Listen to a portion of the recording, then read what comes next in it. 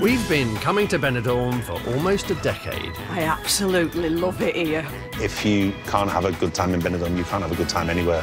All life is here. Yeah.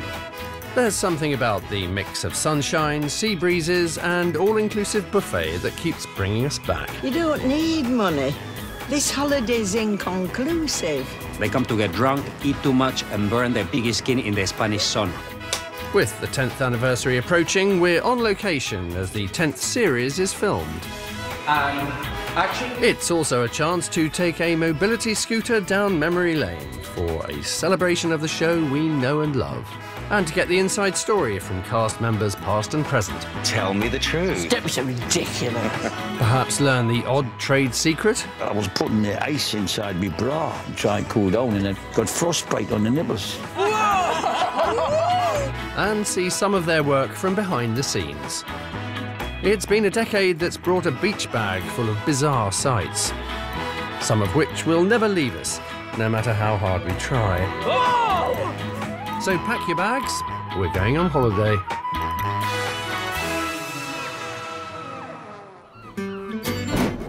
A short hop from Alicante Airport sits Benidorm. It used to be a quiet little fishing village, and whilst they might still catch fish here, quiet, little, or a village it is not.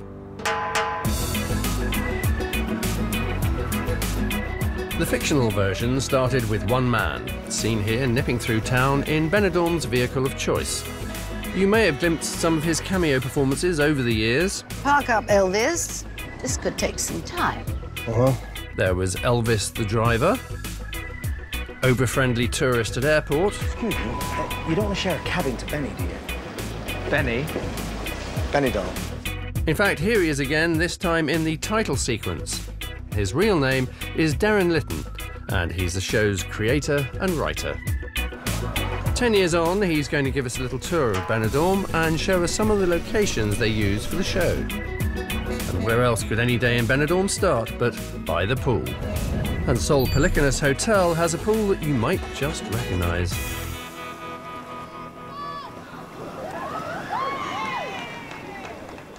So this bit is private. You can't come this way. Oh, go on, go on. You can just, just you. So here we have the famous Solana pool bar. When we first came here to try and find where we were going to film the series before we even started shooting, we walked around this corner and I just went, "That's it. That, that's exactly it." Even the sort of, you know, the coconut matting sort of roof of the bar, and the swim up part here, where we've had lots and lots of scenes. Just all of it. It was already in my mind's eye, and I just imagined uh, who was here, and they're still here, ten years on. In 2007, Series 1 of Benidorm began. Six 30 minute episodes that saw the very first holidaymakers arrive at the Solana Resort, ready to make new friends. Oh my God, just look at the people. It's boiling. Lovely that bit of sun.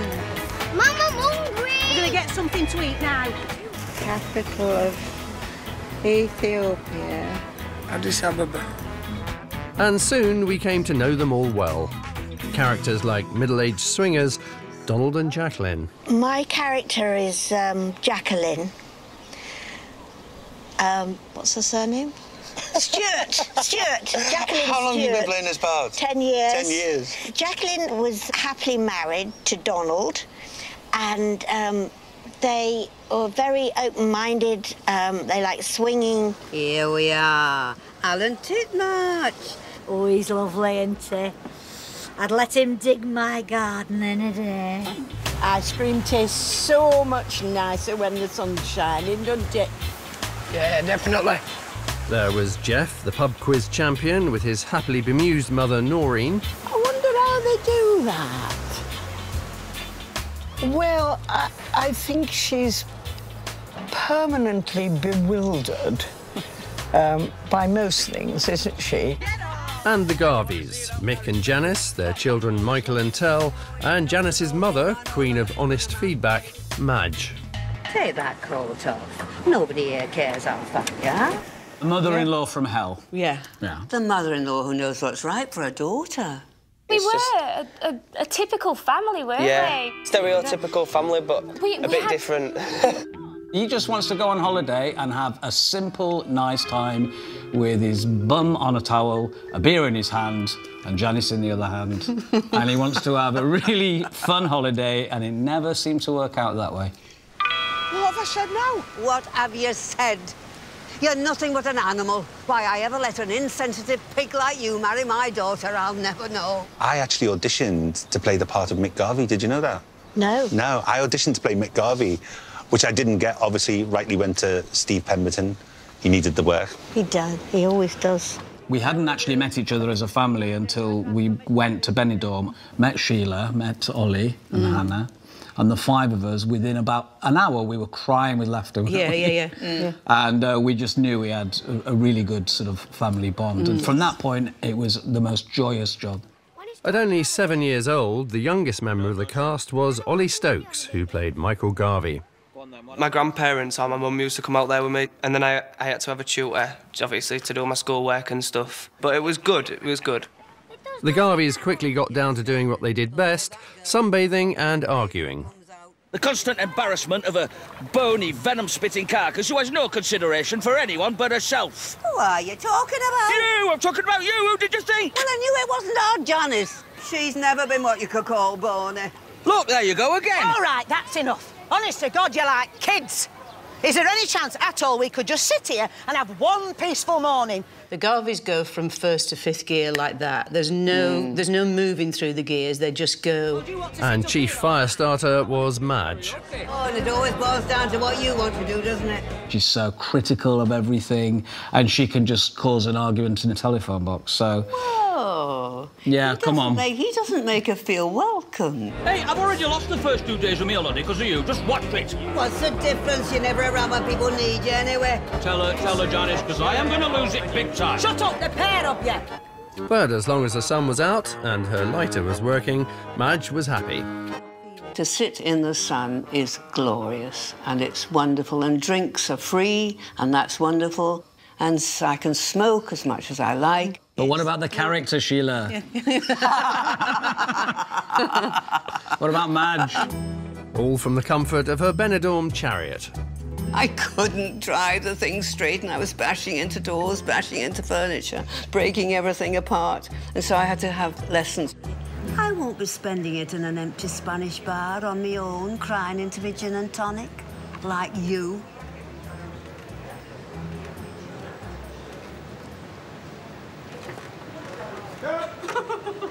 One of the crew said to me, Sheila, do you drive a car? and I said, Of course I do. He said, Oh, God. The Solana Resort might not have been to everyone's taste. The rum is disgusting. The food is atrocious. The people are revolting. I don't know how many stars on TripAdvisor it would get. Our manageress Janie often struggled to manage. Why is this bar not open? Because useless sod who works here hasn't turned up, and if you see the dirty, greasy head get out on the town, you can tell him he's sacked. I think she says she can't get the staff, but I think she's got like a little soft spot for Mateo. But Mateo's soft spot was usually reserved for the holidaymakers. I'm gonna miss you so much, Mateo. Hey, come on. No tears. They're here one week, you give them everything they want for a week. You probably sleep with them on the last night, and then you squeeze a few tears out. And as they walk away, you go next. Hola. Benidorm was beamed into our nation's living rooms. For those who'd been there, it was like welcoming an old friend. And for those who hadn't, it was a window on a whole new holiday experience. Once you've been there a couple of days, you don't you don't do the double take anymore. You go, nope. There are three Wonder Women walking past me, and that's And they're all men. and the, We've seen the hotel where they filmed the pool scenes. It's time to hit the beach, where, in a curious twist of fate, they shoot the beach scenes. And here we are at the beach. And here we have the cable ski. We did have Janine being unceremoniously pulled off, if I can use that expression, uh, by a speedboat. And um, it looked very, very dangerous. Of course, it wasn't. But it is um, one of those moments where I write a scene and I say, oh, that'll be hilarious, and then think, how's, how's that going to actually work? Okay. Go! The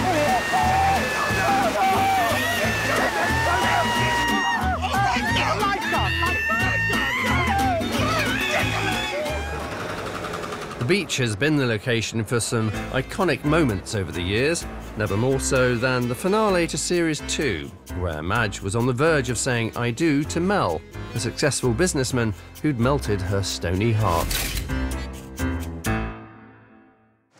Mel and Madge got married here on the beach. I remember being on one of the bars and um, I was sitting um, writing the last episode.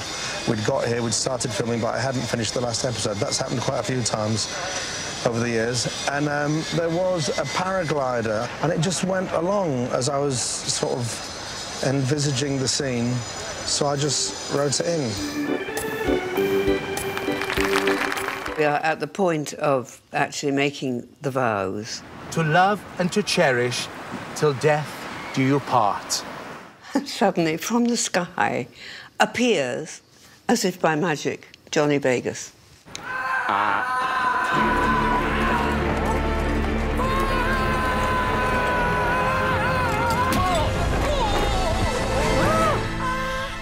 And he lands on top of my husband and knocks him out. Who are you? That's the vicar, Mel. You've had a bump on the head. Who are you? Ah. Mel, Mel, don't panic. It'll all come back to you. You remember Madge, don't you? We realise he's lost his memory. Mick thinks if he's had one bang and there to lose his memory, then another bang might help him get his memory Get it back. back. It's Yeah. perfect logic. Perfectly logical. Come and sit down for a minute. What do you think you're playing at? I was trying to get his memory back. Sort of daft thing my son-in-law would do, of mm. course. Lock him up and throw away the bloody key. What are you doing? I was trying to help him. We're the only family he's got. I'm being taken away in handcuffs. And then it ends with this brilliant shot of, uh, of Madge running after the, Running after the the ambulance in a wedding dress. Oh, I do love a good wedding.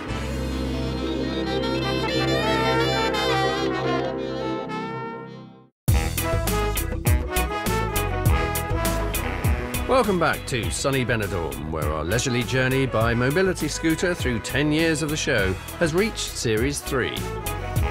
By this point, the episodes had expanded to become 60 minutes long, and amongst returning cast members, there were two notable new ones. There was Brandy, played by Sheridan Smith, I've got a lot of family who've been to Benidorm. I've heard some of the people can be as rough as a dog's ass. You don't say. But Series 3 also brought a potential love interest for the eternally single Jeff Maltby, who came upon a chat room one day and began to correspond with the seemingly female and seemingly lovely Leslie.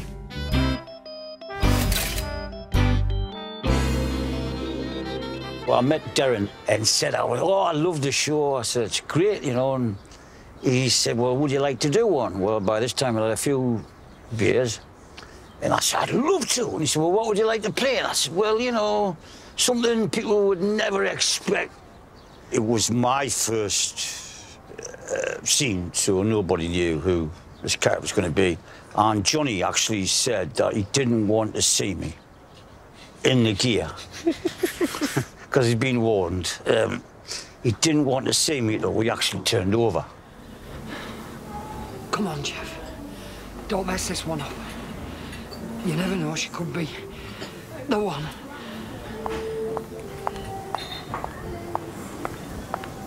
Hello? You must be Jeff. He turned around, he looked at me one. I'm Leslie. Sorry, it's the first time I've seen him in the wig. I'm sorry. it just collapsed. It just absolutely. No, I ordered. Collapsed, and then we had to do it again. Hello? You must be Jeff.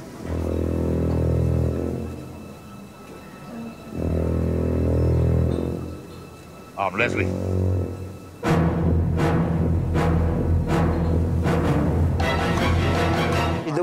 Played it though. I mean, he, he's terrified. Ab- absolutely terrified. Now then, uh, before we go any further, something I want to tell you, Jeff. Okay. We chatted online a lot yesterday, and well, there was one thing I wasn't completely truthful about. Really? Yeah. I want to get it out of the way now. I mean, we don't want an elephant in the room, so to speak.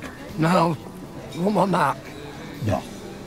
But I've got a sneaking suspicion you know what I'm going to say. Might have crossed my mind. Jeff, I'm not 35. Really? No. I wasn't 100% honest with you on that score. Just to the north of the beach and the Solana Resort pool location sits the building where they film the reception scenes. A rather unlovely lump of a thing, known affectionately to all as the Pink House. We use this as our production office. The front bit, as you go in, the sort of reception area, is um, enormous. And then somebody had the bright idea, why don't we build the set of the reception inside the Solana uh, here? Here's where the here's where the tragic happens. No, here's where the magic happens. A camera. Stop me if I get too technical. A big balloon thing with light in it. We could take the lift, of course, but we wouldn't actually go anywhere because they're just uh, they're just boxes. Oh, how, where did where have you come from? Magic cupboard. But there's nothing in there. What were you doing? Who else is in there? Don't lock me in here. Oh, God. Oh, my God. Oh, my God. I never knew that. You can't see in here. This goes through to the edit. This is like Willy Wonka's whatever. Look! How often do they let you out? Never. Never. Good. Um, action. Today's scene, available to view in the forthcoming Series 10 of Benidorm, is where two mysterious guests arrive. Two guests who look a lot like Hale and Pace. Mind you, see me just in disguise. Oh, we've got through there is Joyce Temple Savage's office, and my goodness, as we look in, there is Joyce Temple Savage. Hello. Hello. I'm just having a little coffee before I go back to work. Sorry to interrupt you again. Joyce Temple Savage here, your Solana manageress. The formidable Joyce Temple Savage became the Solana's manageress in Series 5. You! Get in this line! She actually thinks she's rather wonderful. When she first got here, nobody knew who she was, and she got here and surprised them all. You, my friend, are standing on very thin ice. She immediately is attracted to Matteo, of course. She's so got the hots. Oh, she has. She In has. First, her. fir- Was it you or was it the character that had the hots for me? Oh, don't so ridiculous. Don't touch what you can't afford, love.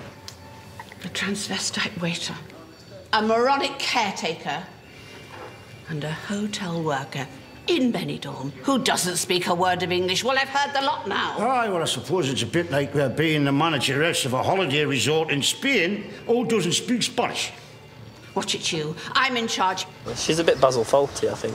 She is, but she... yeah, it's Mrs. Temple Savage to her face, but when she's not there, it's Temple Savage, isn't it? You know. Yeah. By this time, Les, aka Leslie, was working at the Solana with his son Liam. He's a sweet, somewhat stupid sort of a chap.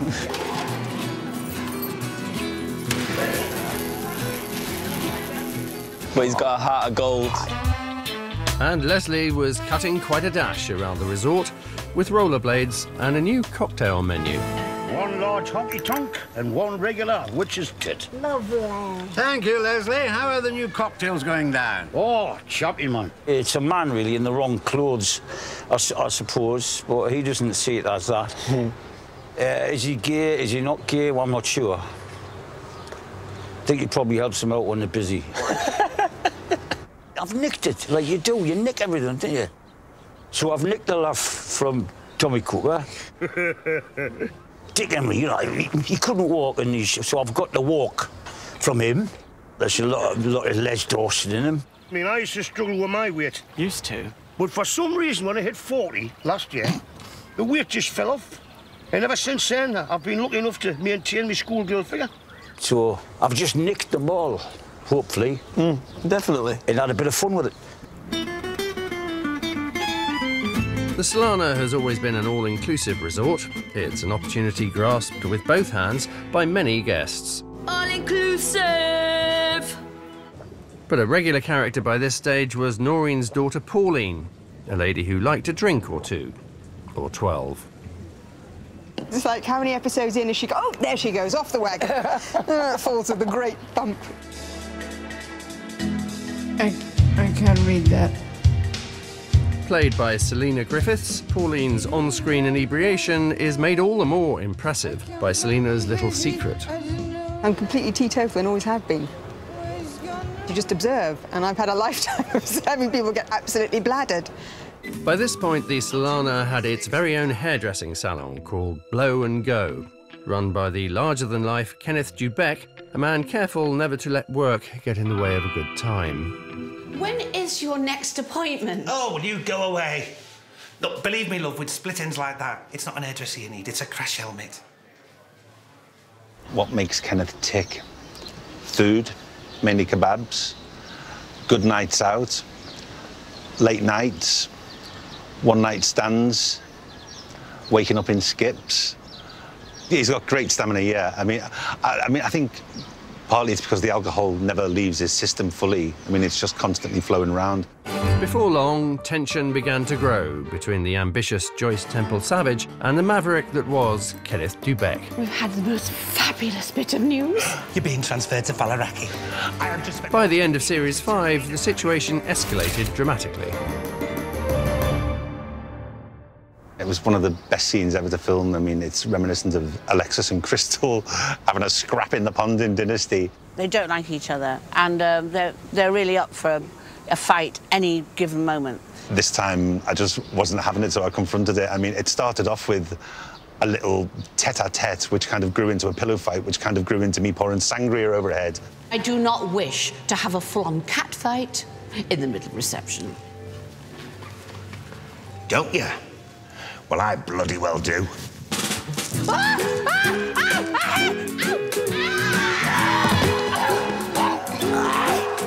I remember Kat, so we, you're actually doing it for real, Sherrie. You're actually thumping me in the face. And I went, really sorry, but I don't know how to pull it. So the, the stunt coordinator there said, right, come on, I'll show you how to pull it. So it's like that, you know, and you don't touch somebody. kept going, no, you're actually hitting him now. you're actually thumping him So now. aggressive. I know, but I couldn't So help it because anger. I really wanted to smack him, you know, because I thought it would look so much better if I smacked him.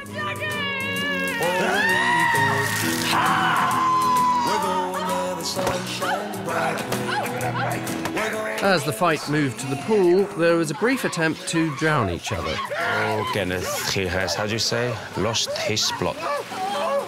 He's lost his bloody mind. He's definitely lost his job. Before Joyce set about Kenneth like a crazy lady.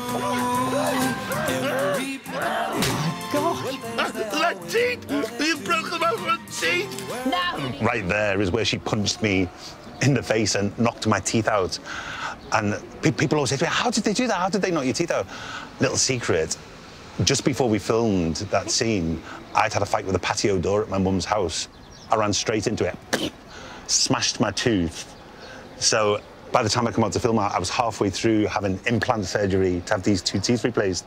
So Derren phoned me, he said, can we use that? Would you mind if I wrote it into the show? And I said, well, we'll never be able to do it again. Once the implants are in, they're in. I said, absolutely, let's do it. What you see is me spitting out of my mouth is half of chewing gum. It's a little piece of white mint chewing gum that, I mean, very cleverly edited. I mean, it's brilliant. But it's vicious. I mean, she gives me such a smack in the mouth. If you want a rematch, just whistle. If you can.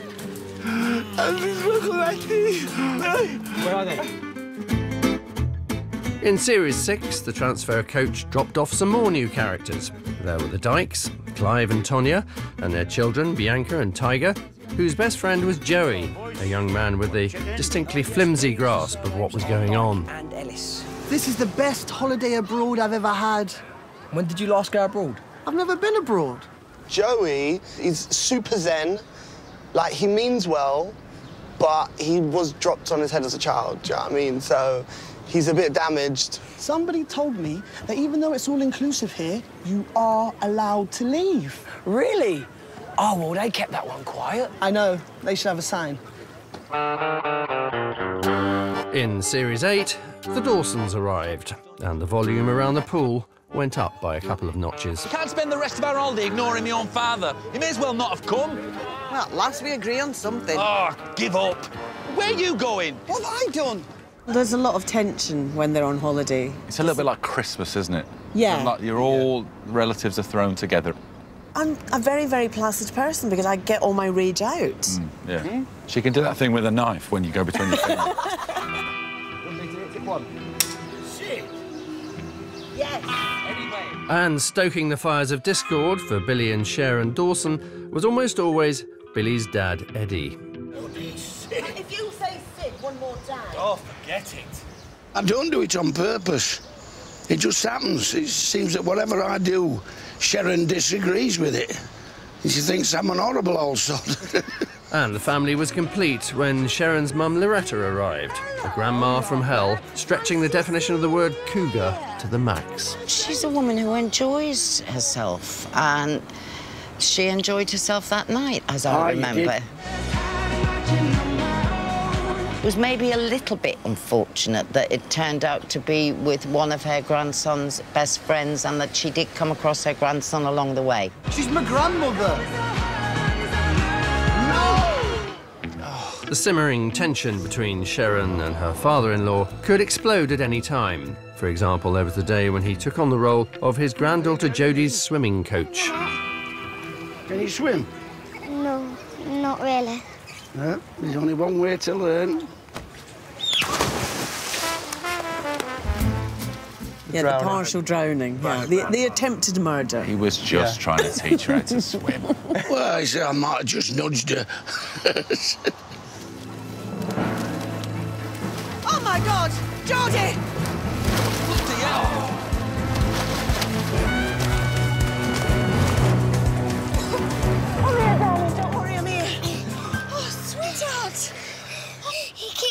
Who kicked you? Are you all right, darling? Of course she's not all right. She's nearly drowned. Grandad, Grandad kicked her into the pool. What? Don't be ridiculous. You didn't kick her in, did you, Dad?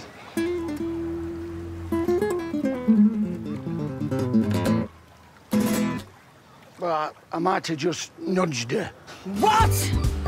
Come here! Oh, no, no, no. Come here! No.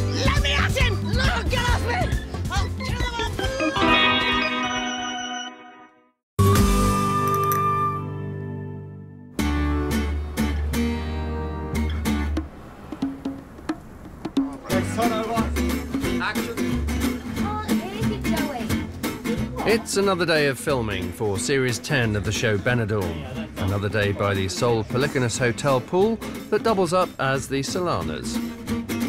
It's early in the morning, and since Derren is a writer, he's obviously still asleep. This to the right here is the sort of production area. So Steve Edge, who plays Billy Dawson in the show, gives us a tour behind the scenes up on the first floor of the hotel. This is the breakfast. So there was boiled eggs in there. They've all gone now. There's the cheese. There's sometimes a plate with a wedge of lemon on. It's a suggestion that there was smoked salmon at one point, but I've never seen it, and I get here at seven o'clock in the morning. Uh, an apple. Uh, and here we have, what it says on the door, makeup. I I look like a clown. We do that, look me.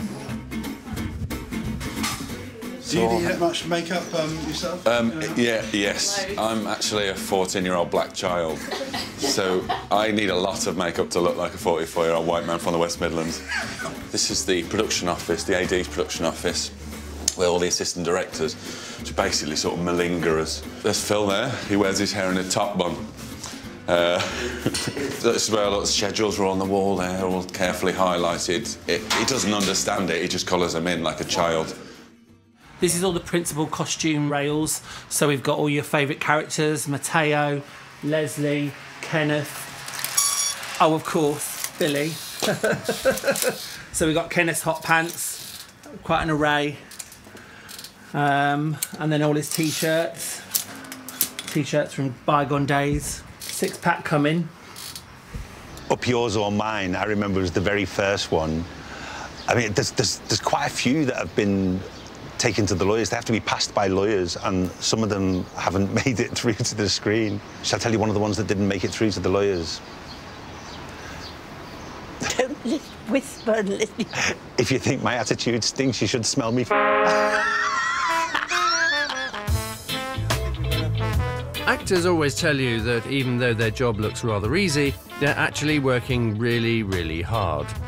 It's not something you hear too often on Benidorm. They're forever spraying sun, suntan cream on you, but I've been here two months, I'm as brown as a coward's trousers. Our favourite days were if we had no dialogue. I shouldn't say that really, should I? But and we could just lie on the sunbeds in the back of shot.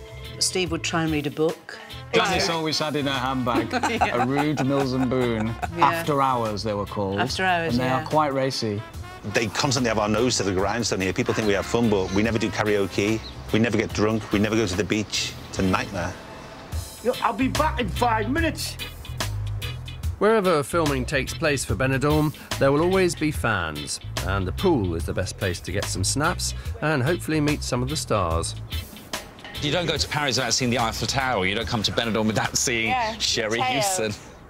They're your bread and butter, really. If they weren't there, we wouldn't have a show, would we? And I think you've got to sort of give them a, a lot of respect. And, and, and the other thing you've got to remember is, is that they're on holiday, you know. Look who I met. Mm. You know, so they want a photograph, you know. And, you know, so we, we always give, give them time for that, you know. They do call you by your character names, and obviously a lot of them know, a lot of them say Billy, but a lot of them just say Dad. And, and, and when, and when, when there's a kid swimming in the pool going, Dad, you go, I don't, I've never been here before. That you are not my son. I get all the groping. I get hands down my back, down the front, down the side. I get licked, kissed on on a on a daily basis. If I'm sitting there, my mother is visiting, and this stranger just comes up and goes. That's usually me, though. We- We'd all just arrived to start filming um, Series 9, and we all went for a, a drink up in the Old Town. And there was probably 10 of the cast there, out with the crew. And then all of a sudden, around a corner came 10 versions of us. It was a stag and hen party, all dressed as us. So we had this brilliant photograph taken of us next to ourselves, if you like. It was really, really funny. We, we see a lot of that. We see a lot of people dressed as us.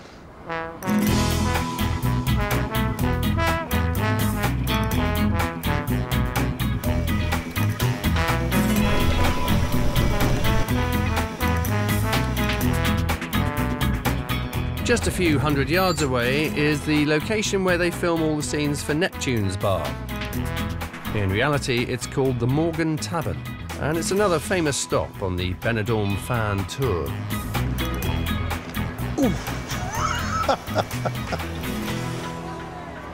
Hello.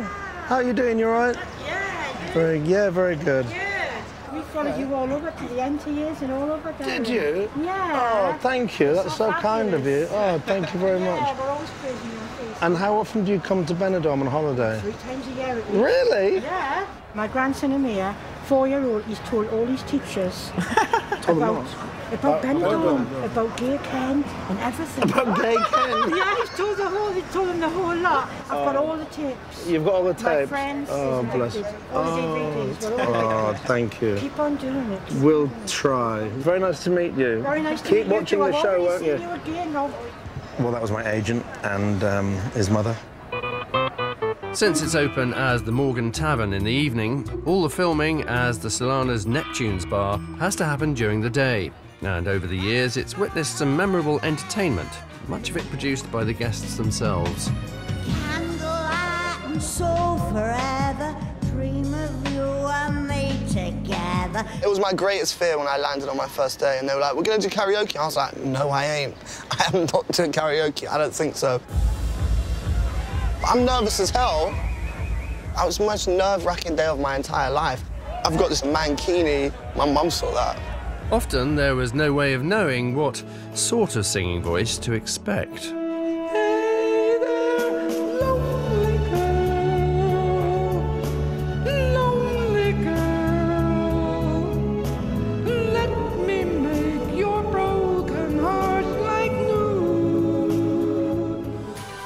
There have been some famous guest acts too. Bananarama went down well on 80s tribute night with the help of Jacqueline. And Madness rocked Neptunes on the Series 9 finale. Mother's tired, she needs a rest. The kids are playing up downstairs. But perhaps the most memorable performance came from Noreen. Ladies and gentlemen, there have been many times in my life when I've been proud of my only son. Yeah. Mistakenly under the impression that her son Jeff was not only secretly gay but was planning to come out that very evening, Are you ready to come out, son? I say, son, are you ready to come out? Yes, I'm ready! Say, woman. She accepted that that's, if that's what he was, and Matteo said he was, and he said he's coming out tonight, it was all a terrible mistake. He is a wonderful, happy, proud, gay man. You what? And to honour her son, she dedicated her song to him. Young man, there's a place you can go. Short on your dough, you can stay there. And I'm sure you will find many ways to have a good time. It's fun to stay at the.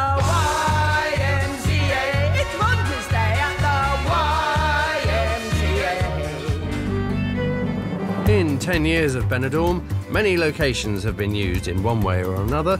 The Benidorm Palace has featured several times. Benidorm Circus, too.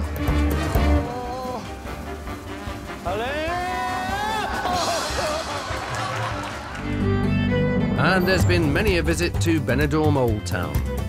Who can forget Matteo in drag being arrested for solicitation? Matteo! Natalie, this is not how it looks. The Garveys taking on a religious procession head on. And in another episode, taking on some Roman soldiers. Oh, I can't kill him, Mum. He's gorgeous. And even further out of town, the guests were brought to witness an authentic Spanish bullfight. I'm not watching. I know exactly how he feels. This is absolutely disgusting. I won't be watching when the ball comes out. Basically, it's Mateo's friend who's a bullfighter. When he walks into the room, the guy's out cold. They're expecting a show. They're all looking away because it's, you know, it's a thing, you know, we don't want to see blood. They shouldn't be doing this. And out comes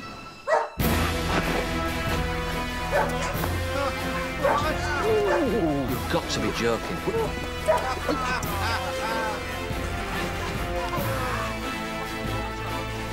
Um, it's okay. You can look. I'm not a dog trainer. The dog clearly, although they said it was a trained dog, clearly it wasn't trained. We were sort of improvised a scene. The dog sort of, you know, I fell over, they kept it all in. And the dog sort Very of running away with my shoe. I had ham stuffed in all my sleeves, down my, the front of my trousers, the back of my trousers, in my shoes. Basically, what they're trying to do is like, get the dog to basically bite at me. Eat you. Yeah, Yeah. eat me, you know, for comedy effect. Not quite the bloodbath we were anticipating.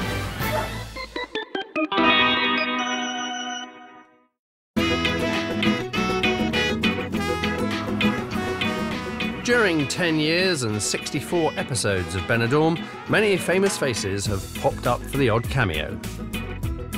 From the Krankies to Nigel Havers, many have been happy to sacrifice a little dignity for the chance to be in the show.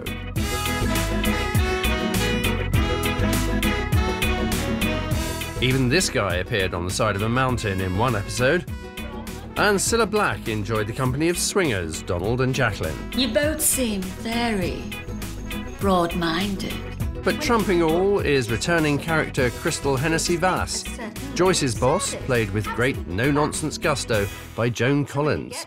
We are budget and we're proud. And the last thing that we need is some toffee nosed social climber trying to drag us into the 21st century. Toffee nosed social climber? I'm talking about you, Savage. Oh. New characters have continued to arrive on Benidorm. People like Chinese businessman Mr. Wu. Kenneth! Oh, sorry, didn't hear you. That's okay. You were in what we call BSA, Buffet Suspended Animation. Mr. Wu's accent is, it's half of my mum's accent, and it's, it, there's a bit of Jackie Chan in there. Nobody tells a joke like Mr. Wu. You better wipe from around your mouth, or you look like Buffet the Vampire. You get it? Not Buffy the Vampire, Chinese Buffet the Vampire. And Joyce has been pursued by another more recent addition, dodgy businessman Monty. Every time we're about to meet, signs are all there. The best tie comes out of the drawer, the careful trimming of the moustache in the mirror, an extra squirt of Hai Karate. Extra squirt of what? It's an aftershave. Oh. I've never played a part that's a puppy before, you know, that's a waggy tail and floppy ears going, How? Chips and rice tonight, Joyce. Chips and rice. Over the last 10 years, there have been births, marriages, but sadly, some deaths too. Leading lights who helped to make the show the success that it's been. Slowly but surely, that's my motto. I didn't set up five sunbed shops in the greater Manchester area overnight. Took me nearly six months. Fair play. It hurts the first time you do it, but after that, the body adapts. Doesn't it, Jacqueline? Oh, yes. When Kenny Ireland, who played Donald, one half of the swinging couple, passed away, his character was given a fitting send Jacqueline had taken Donald's ashes up to the cross that stands high above Benidorm, with Kenneth, Troy, and a leaf blower. I mean, you did that scene so beautifully. I mean, she sort of drew us all in with that beautiful speech, which was just about her and Donald. In all the years we had together, you certainly gave me a lot to smile about. And then who would have dreamed that the next thing to happen was her getting blown off a cliff by a I leaf blower? I love that. Are you ready?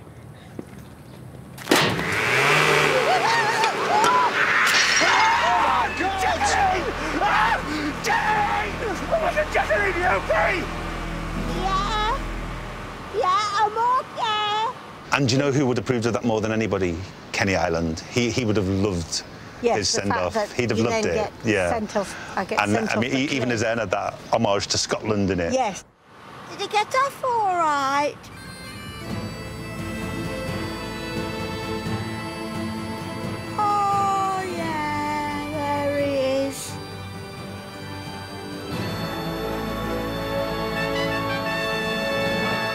Our journey has come full circle. Ten years on from Derren's very first visit, we're back at the pool. And as filming comes to an end for another day, Derren Litten seizes the moment to say a few words. Um, obviously, we're here to celebrate 10 amazing years of Benidorm. We'd like to thank our amazing cast, also our amazing production team, and uh, our incredible crew, and of course the viewers. When I first came here and the show was commissioned, I thought, one, I get a free holiday in Spain, and two, I might meet some new friends. Well, Spain is now my home, and I've found a family. And thank you for being that family.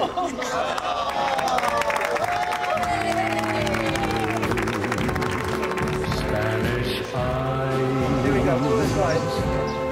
And one last one, cheers. Cheers. Please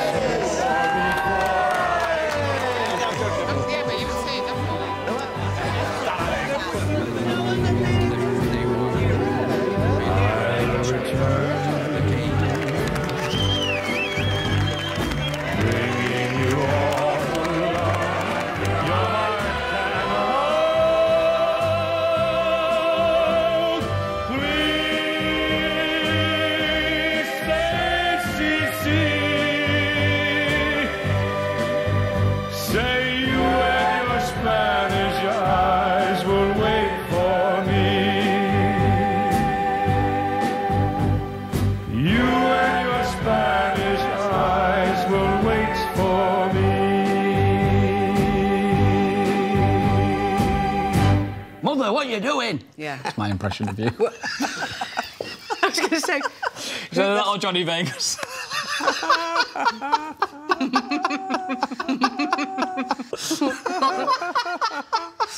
you see?